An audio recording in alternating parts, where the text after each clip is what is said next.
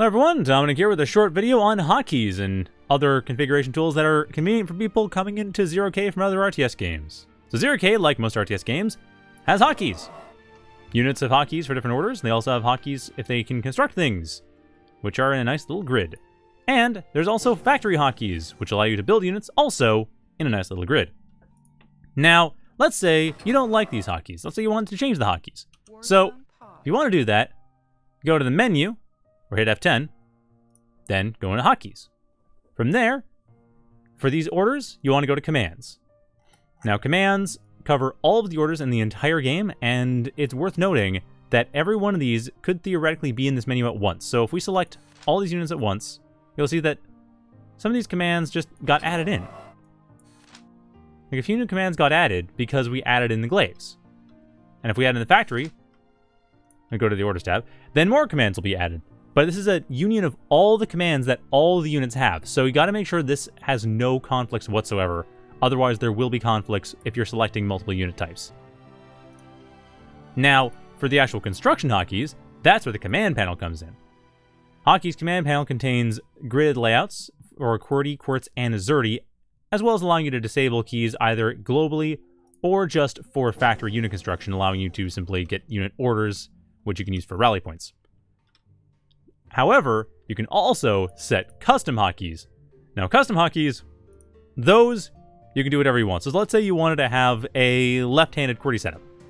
So you do something like this. But go to apply changes. Well, it's all well and good here. You got U for your conjurer and you got or right bracket for your sling and everything in between. But let's say you your economy menu, well, that doesn't help you at all. I mean, it, it might, but it might just feel better to have, say, all the power plants using I through right bracket. Well, you can, because there's tab-specific overrides.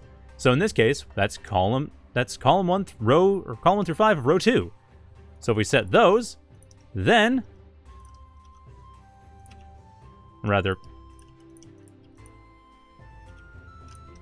set those properly, then let's apply changes, and there you go. Except now we don't have a metal extractor.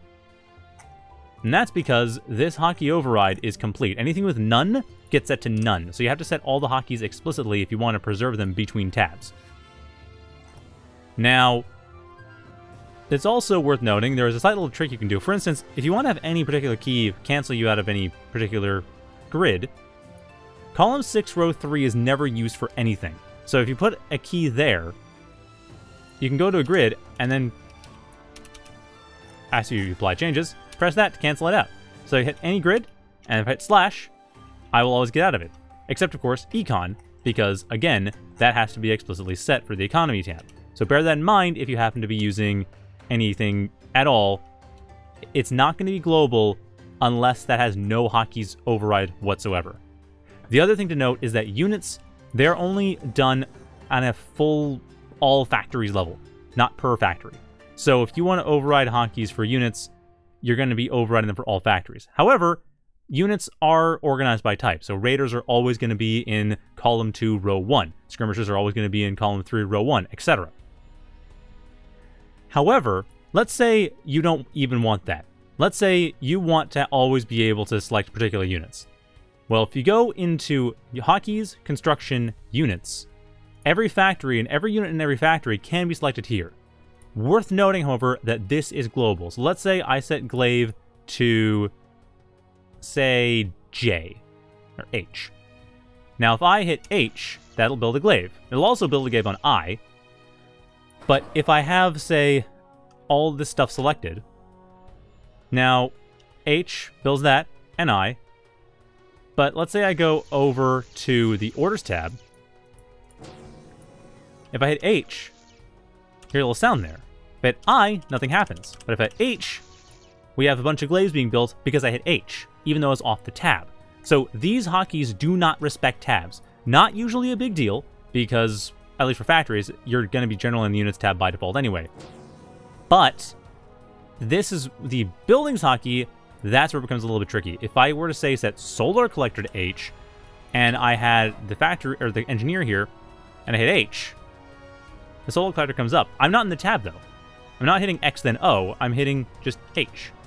And there's a solar collector no matter what. So this can be handy if you want to have buildings that you can just build without even going into the tab, like super fast building. But you will not have them respect tabs. They will bypass it completely.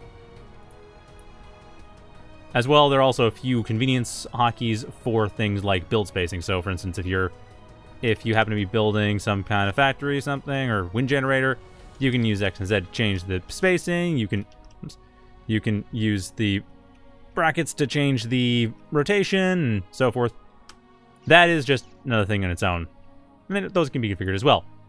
Now, if you want to adjust how you actually control units, though, that's where the selection tab comes in. Hotkey selection contains a bunch of hotkeys for different modes of selection. So you can have, say, selecting every unit of the same type, or you can select all your constructor, or you can select all your idle workers, which currently are none because the constructor is doing something. And you can also select all units all together, as well as several things in between. So everything here can be configured just as with everything else. However, the key thing here is control groups. If you ever wanted to have control groups on a different key than normal, say not in the home row numbers, you can do that. So for instance, say you want your stuff to wrap, wrap around the grid keys, and instead of having control group 8 on 8, you have it on U. So set it to U, hit control U, and now all the stuff is on control group 8, even though you're pressing U, which is really convenient.